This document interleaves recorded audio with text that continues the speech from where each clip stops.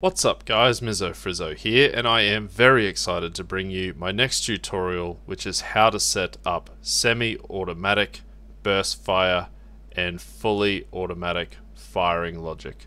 So as you can see here, I've set up my weapon system with simulated physics pickups, and my two weapon system. And just FYI if you haven't already I highly recommend you check out those tutorials because this is built off of the top of that and I'm going to be adding more and more to what is becoming quite a robust system. So as you can see here I've got this weapon which by default is set to semi-automatic. If I press C you'll see a print string up the top left that says burst fire and now I have burst fire. And if I press C again it will say full auto and I now have full auto. By the way guys you are seeing here that I've replaced my character with a metahuman. I have made some animations that look quite nice. I even have procedural recoil and all of this stuff is easily achieved with my other tutorials so if you want something like this please have a look at my videos um, I'm quite excited to bring you this one today guys because thus far I've only shown you a very basic full auto firing loop which presents some undesirable behavior such as being able to fire when you're already in the firing loop allowing the player to fire faster than they should be able to. This system is a bit more advanced and eliminates any of that undesirable behavior. I'm quite proud of what I've come up with and very excited to show you this today guys. So without further ado, let me show you how to do this. Alrighty guys, so the very first thing we need to do is head into our weapons folder and we're going to create a new enumeration. I'm just going to duplicate enum weapon type here and I'm going to call this enum fire mode. Open this up and I'm going to change the three of these to semi-auto, burst fire, and full auto. And then we need to add this to our BP weapon master. So add a new variable, call it fire mode of type enum fire mode that we just created. And your weapons should automatically, in the class defaults, be set to the first one. So that'll be semi-auto. And we're just going to leave it like this for now, but if you wanted to uh, go through each of your weapons, and let's say you've got a pistol, which doesn't do uh, fully auto, um, you know, you could, uh, well, that's a bad example, but you could, um, you know, when you set up the switching fire mode logic, you'd want to set that up for different, uh, sort of a different setup for each weapon. Um, so let's go on and do our firing logic. But uh, very first, I just want to double check that you guys have this in, uh, BPI that interfaces with your weapon. I've renamed this BPI weapon interface, but you may have called yours BPI fire or anything like that. Um, but this one is just going to have a function within it. So if you don't know how to create an interface, just right click and go blueprint, blueprint interface.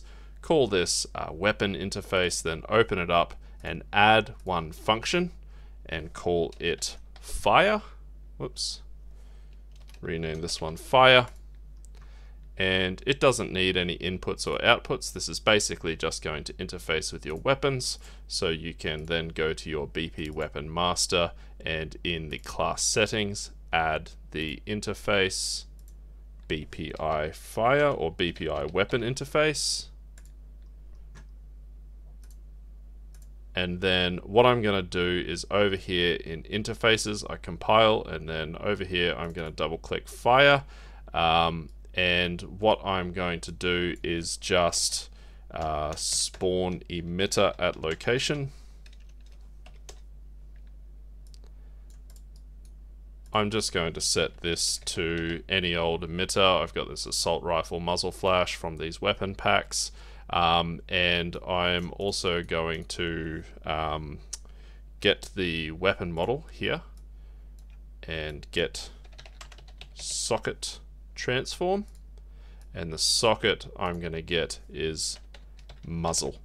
I'm going to call this muzzle on all my weapons, or you could call it barrel, uh, whatever you want to call it. It has to be the exact same spelling, and you want to make it the same on all of your weapons. Um, and you can split this and put in the location and the rotation here. And I am also going to play sound at location. And uh, I believe there is a rifle, a fire cue. That will do. I'll just browse to this one to see what it is. Yep, that one's fine. Just like that. Um, and the location will be the location here of the muzzle socket. So just to clarify, uh, just to double check that you have this, and if you don't, to create it, what you want to do is, so we're going to set up for the this weapon right here that I've got at the end here, my AR4X. I am going to open up the skeleton of that weapon and you want to do this for just each of your weapons that you want to set up and you want to make sure you have this muzzle socket right here. This one's spelt with a capital M so I'm just going to rename that muzzle all lowercase and make sure that it's in the correct spot right here at the end of the barrel and with the X axes pointed in the direction that the gun is pointing. So this one right here, pointing out the front of the weapon, right there, like so.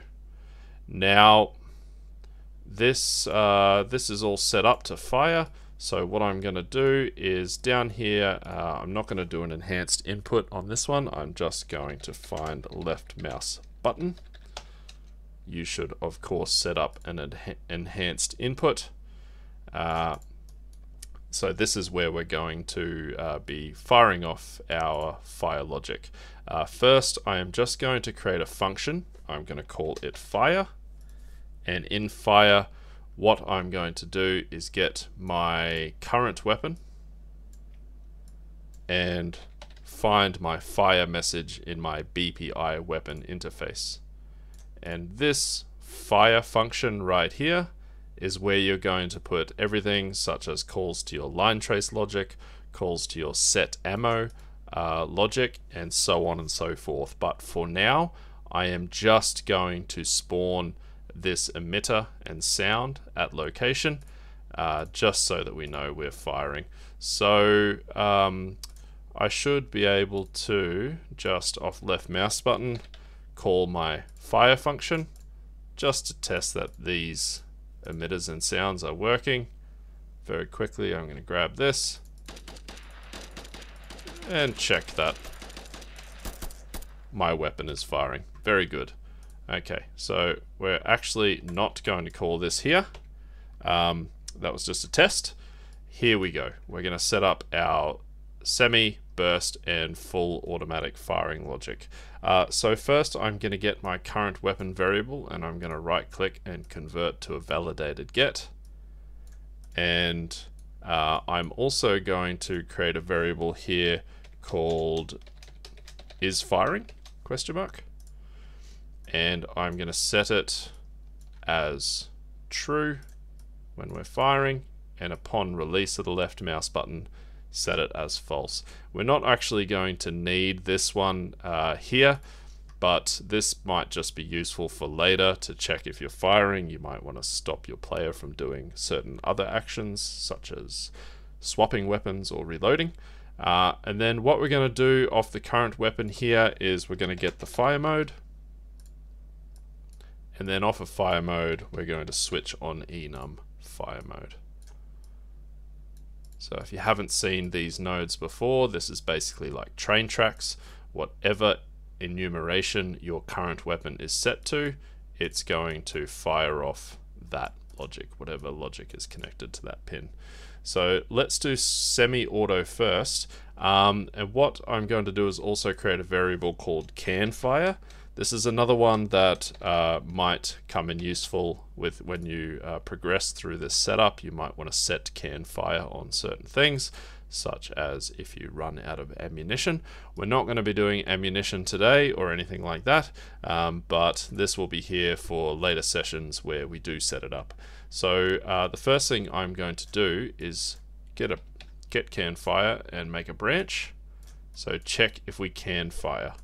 And then straight away after that, what I'm going to do is set can fire as false.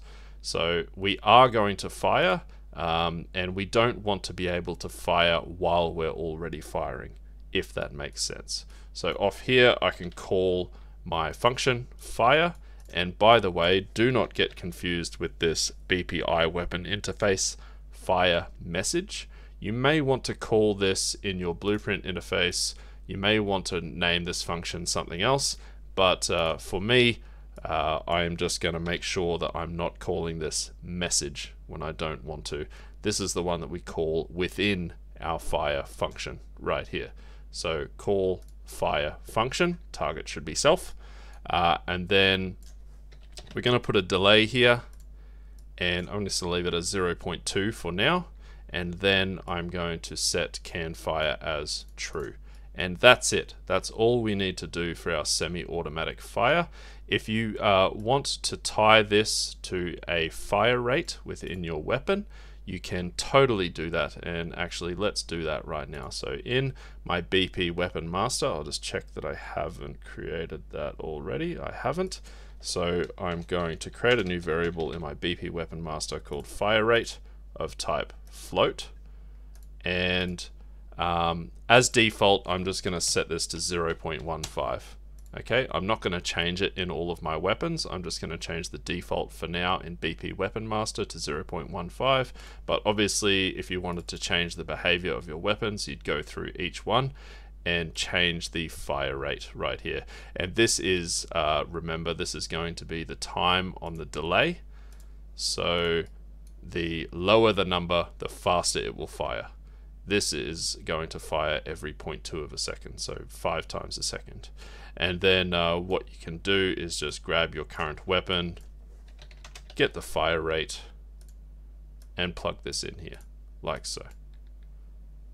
Nice. So that's this all set up. Let's uh, let's do uh, let's actually do yeah let's do burst fire next. So we'll do it in order. Um, what we're going to do is basically we're going to copy a lot of this because we're going to need most of it, but we are going to rearrange it. So I'm going to disconnect this here. And off of can fire, I'm going to set timer by event. And the event that's going to be set by this timer is a custom event that we will call burst fire. And you can plug in this delegate right here into the delegate pin on the custom event. This uh, time right here is going to be our fire rate. So we can get the current weapon and get fire rate plug it into time right here. And then uh, what we want to make sure we do is check looping and drop this uh, drop this node down so we can see this initial start delay. So if we leave this at zero, this will not fire right away. This will delay by this time right here, the fire rate. So what we need to do is negate the fire rate off of this initial start delay. So we can get our fire rate and we can multiply it by negative 1. Plug this into the initial start delay. And this means that this will fire immediately. There'll be no delay when, when we fire. Um, so we don't actually want to connect this right here. We want to move this out a little bit and we want to find off of burst fire we want to find a node called do n this is a tricky node to find because if you type do n, it won't actually pop right up. It'll be somewhere in here. It'll be there. But if you just type don, you should see this under flow control do n. and this is a node that will only allow uh, the execution here to execute a certain number of times in the n right here. So if you wanted, you could uh, you could also tie this to a variable in your weapon. Um, I'll show you how to do that right now. So in your BP Weapon Master, you'll also want to create a new variable. Um, I don't know what you'd call this. I would only leave this uh, at three for a three shot burst fire. Um, uh, let's just call this burst shots. And this will be of type integer. And I'm going to compile this and set the default to three and save. And then what you can do is just get your current weapon, uh, get burst shots, plug this in here, like so. Um, okay, so after we fire, what we want to do is uh, call this again, basically. So um, I'm going to just check if this counter is equal. And sorry, I'll just move these over here and make a branch. And what we want to do is check if the counter here is equal to the number of burst shots that we're trying to take. So plug that in there. So this is going to fire over and over again until, uh, because we've checked looping, until this has reached the number of burst shots. So this is going to execute one, two, three times, and then this will equal the burst shots. This will ring true, and off of true, what we're going to do is cancel and invalidate timer. Sorry. Ah, clear. It's clear. Clear and invalidate timer by handle. So you can plug this in here and you can plug the return value on the timer over here into the handle and this will uh, stop this from looping basically. Uh, then we want to delay by the fire rate and set can fire to true uh, and then we want to plug this uh, last execution pin into the reset pin. So this resets this node uh, to be able to fire three times again. Nice. Um, oh, we actually want, we actually want, yeah, so we have got the delay here. Um, you could set this to something other than the fire rate. You could make another variable again saying delay between bursts um, this will only delay it by the fire rate. Um, so I I actually might do that. Um, I'll go to BP Weapon Master. I will duplicate fire rate and I will call it delay between bursts. Okay, and I will set that to 0.2 so it's just a little bit longer than the actual uh, the actual fire rate. Um, I will get rid of that. Get get delay between bursts. Plug this in here. You probably want this to be different to your actual fire rate. Um, you know, otherwise it will just act like fully automatic. So there we go. That is all set up there. Let's now do our fully automatic firing logic. So it's a little bit simpler than that, um, but it is very similar.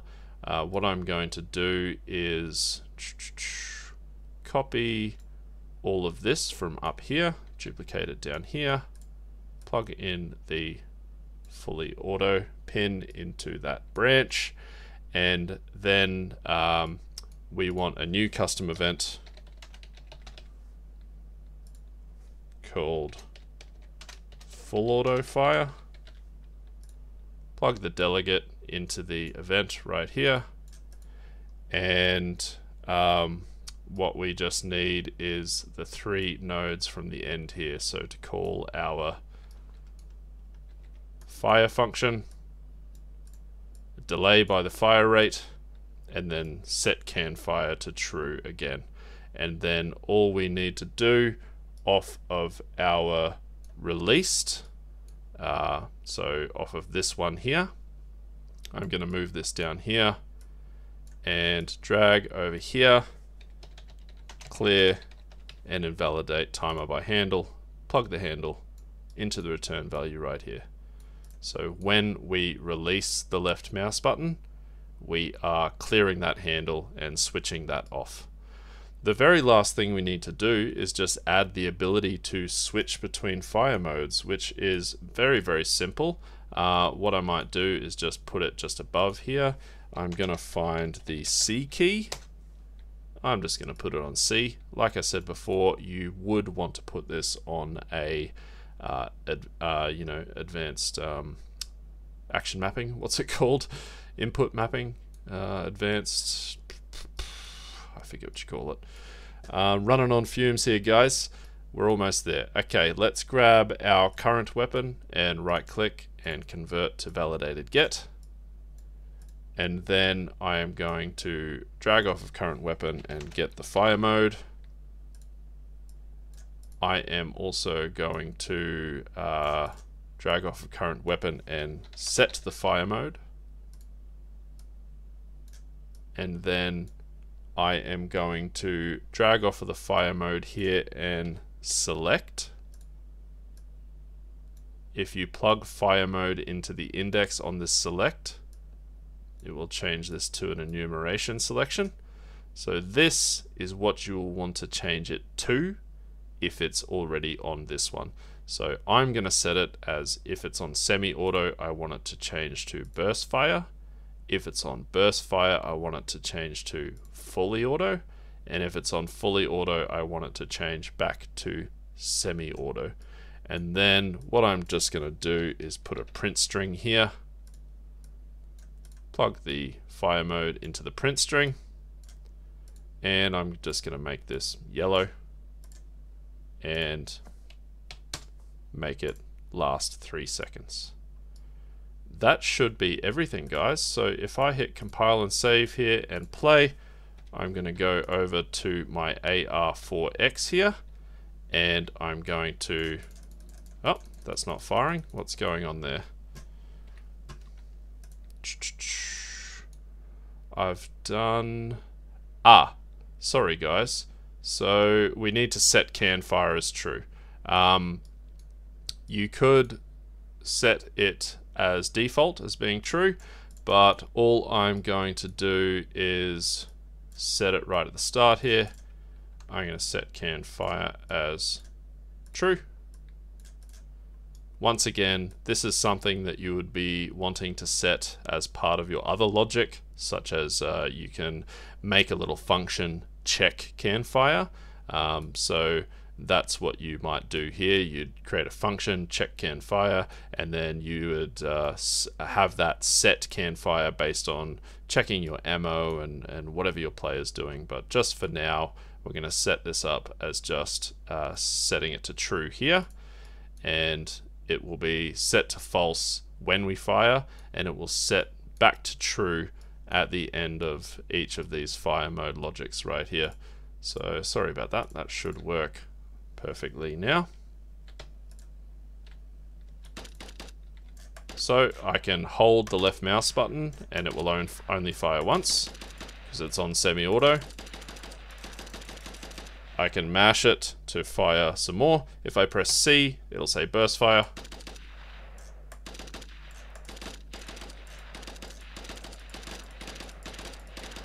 That is actually doubling up there, uh, which is a mistake. Um, I've made another mistake here. What's going on? I'm setting, uh, because I'm setting burst fire to true, uh, sorry, can shoot, can fire to true. Um, when I fire, I might actually just get rid of this. This was not a good idea. I will set can fire to true by default. Um, and that will fix that. Sorry about that, guys. It's been a long day. But I was just so excited to bring this to you, but that I could not wait. So we got single fire there. Press C to switch to burst fire. And now, no matter how much I mash it, it will not fire faster than that 0.15 fire rate with the 0.2 uh, burst, you know, delay burst, delay between bursts. So that's working, and then C again to switch to full auto. Sorry about the mistakes there, guys. We got there in the end. If this tutorial has been of any use or value to you whatsoever, please hit like and subscribe, and I will see you on the next one.